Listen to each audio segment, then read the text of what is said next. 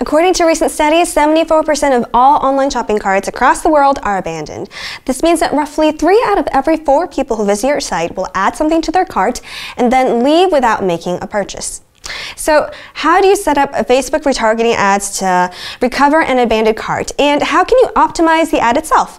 These are some really good questions which I'm going to try to answer inside this video.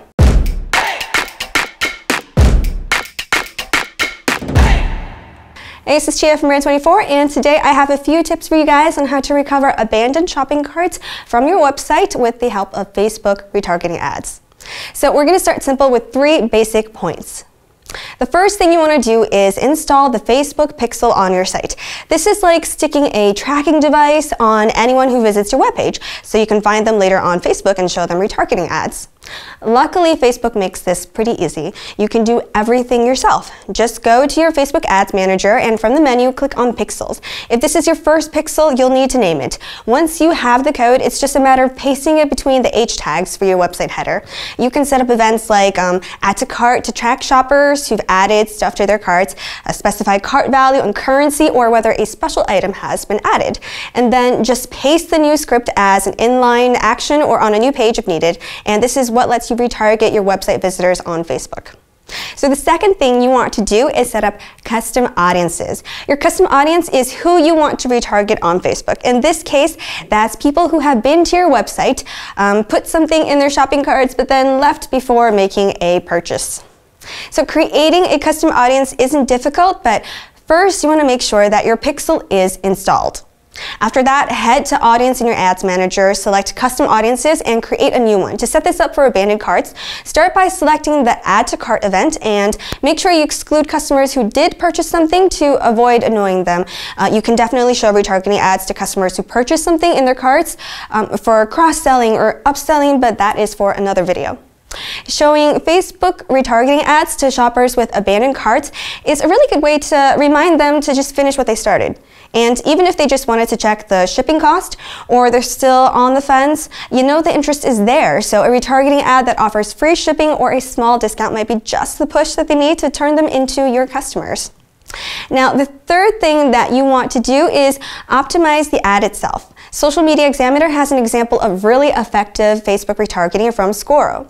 So Scoro set up a custom audience for people who had visited one of their landing pages about project management and showed them retargeting ads that talked specifically about how to manage projects. So since their buyer cycle is a lot longer, they serve those ads to website visitors in the past 60 days instead of the standard 30. Scoro started with a small custom audience, about 2,000 people, but that generated 12 leads in the first 20 days with a 70% conversion rate. According to data from WordStream, the average click-through rate across all industries for Facebook ads is 0.90%, and the average conversion rate is 9.21%, making that 70% conversion rate from Scoro super impressive. And the concept behind their ad, like all the best things in life, was really, really simple. Minimal text, clean graphics, and a single call to action.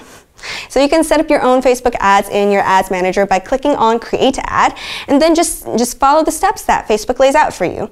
Use images or video, whatever format you prefer. Just remember to add the custom audience that you created for that ad. Now, when you're designing your ads, it's important to remember that visual ads containing less text typically get more clicks, which makes the language and the words that you do use even more important. So one small but really important tip that I have for you guys when you're creating your ads is to just listen to the language that your customers use when they talk about your product. Because even the way that you refer to your product might not be the same way that your customers do, and that can make a huge difference in your communications.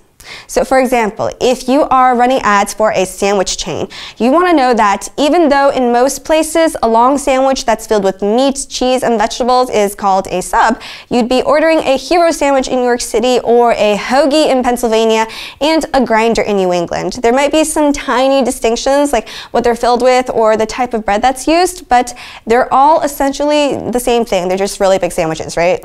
And knowing that they go by different names in different locations can help you set up much much more effective retargeting ads that will just make a lot more sense to your audience.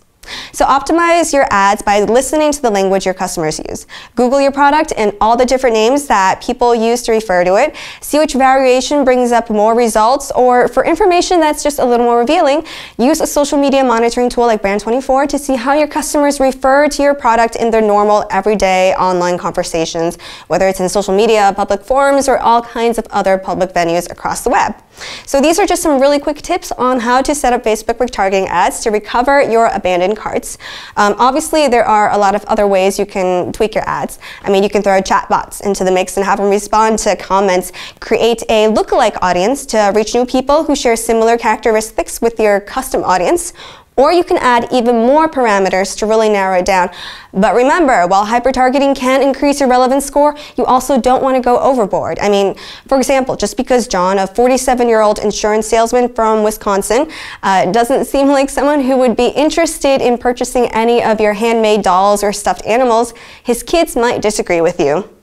And that is it for today. If you have any questions, leave a comment below and I will respond to it. And if you found this video helpful, feel free to like it, share it, and subscribe to this channel so you can be notified when the next video is up, which is going to be filled with even more tips on all things related to social media and digital marketing. Thanks for watching and have a good one. I'll see you later.